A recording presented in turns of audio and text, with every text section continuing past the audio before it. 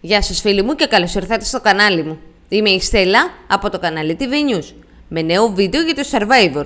Όπως είδατε και από τον τίτλο θα σας πω ποιος είναι ο δεύτερος υποψήφιος προς αποχώρηση αυτή την εβδομάδα 29 Απριλίου και είναι οριστικό.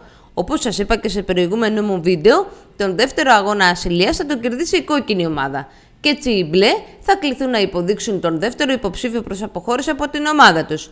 Ποιος είναι αυτός; Πάμε να σας πω.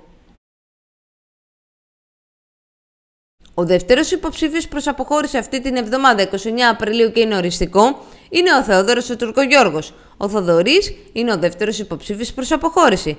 Αναμένουμε να δούμε ποιος θα κερδίσει και τους υπόλοιπους αγώνες ασυλίας για να δούμε και ποιοι άλλοι παίκτες θα τον πλαισιώσουν. Αν σας άρεσε και αυτό το βίντεο, πατήστε like, κάντε την εγγραφή σας και μην ξεχνάτε το καμπανάκι. Να είστε καλά φίλοι μου. Γεια σας!